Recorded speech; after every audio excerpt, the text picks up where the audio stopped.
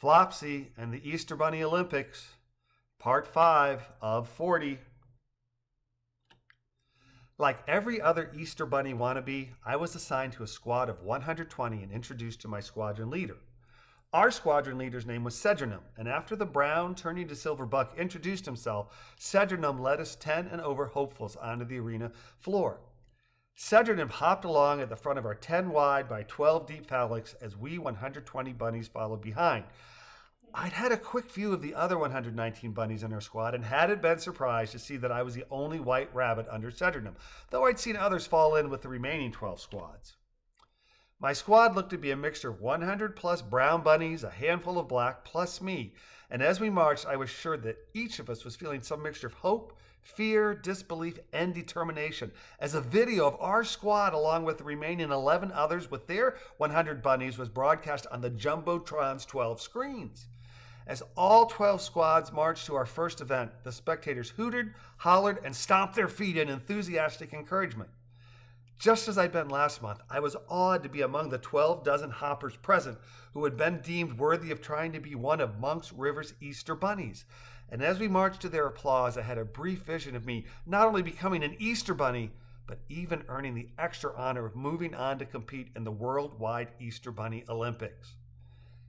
It was just short of a month since I'd seen the selected baby bunnies beaming broad smiles as they sat with their parents in the rows above the judges' seats following their competition.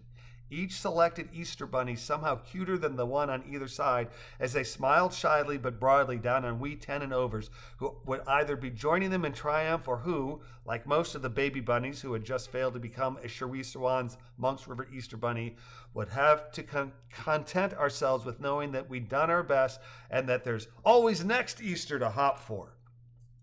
The main competition would follow the same three judge panel rule that had been used in the preliminaries.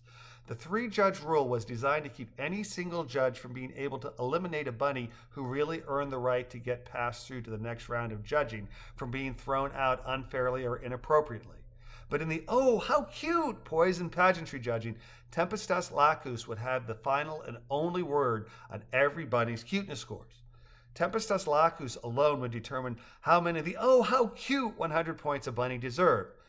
Though bunnies nearly always received a poise and pageantry score between 40 to 65, Tempestas, the bunny who had repeatedly said that if white bunnies want their own Easter, then they should have their own separate games, would have sole discretion in delivering as many as 100 points to as many bunnies as he chose, a position that made him the single bunny who had the most control in deciding who would be among the 456 Monks River February Games representatives. Knowing Lacus's history of downright intolerance and denigration of white bunnies, I couldn't help but feel that I had zero hope of being selected as a Monks River Easter bunny, no matter how well I did in the other 11 categories. Marching out onto the arena floor, my thoughts swirled around the decidedly lopsided power Lacus held in deciding who became an Easter bunny. Thoughts that again made me upset that Placid Paws was out as head judge, judge and that Tempestas Lacus was in. Placid Paws was held in very high regards. He had served as the final central Chiwere-Siouan judge for as long as I could remember, and I'd been counting on his sense of fairness and inclusion, making it even possible for me to earn a spot as an Easter Bunny. And not having him as a judge was something that weighed very, very heavily on my mind as I headed to the first set of compulsory.